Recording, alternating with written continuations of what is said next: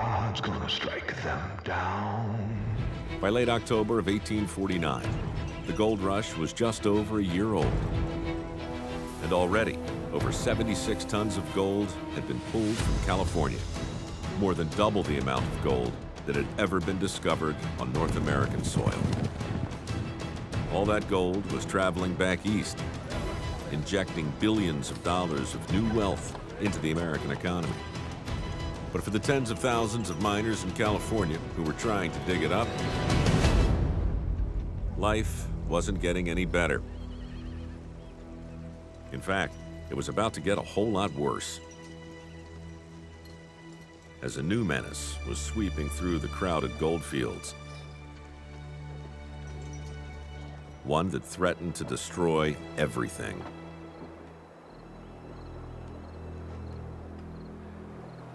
Dying, ain't I?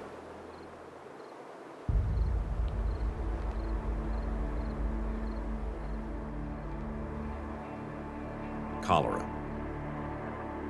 At the time, it was one of the deadliest diseases on the planet. In just 50 years, the disease had made its way from Asia to Europe, and now to the United States, spreading across the continent faster and further any epidemic before it. Within the past year alone, cholera had killed the President of the United States, James K. Polk, and his successor, Zachary Taylor. By the end of the pandemic, over 12 million people would be dead.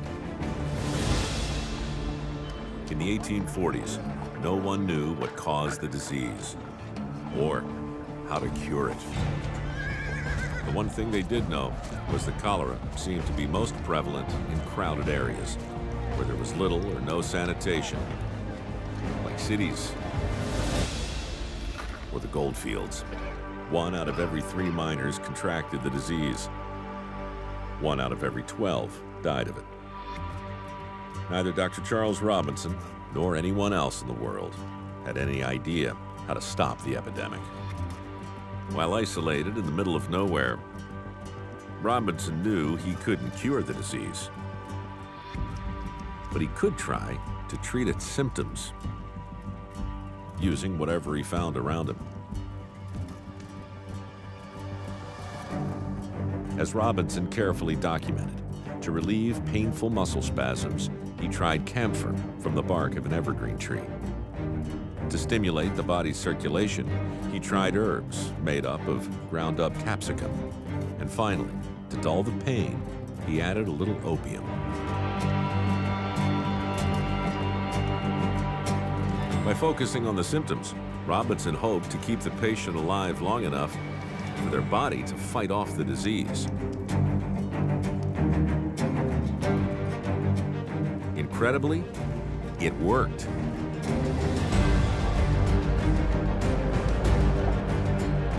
Word quickly spread throughout the goldfields, and miners traveled from miles away to be saved by the doctor in Boston Company.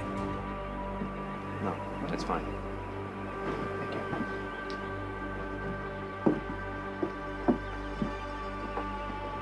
Why didn't you take the gold, Doc? Because I became a doctor to help the sick. Not to be rich.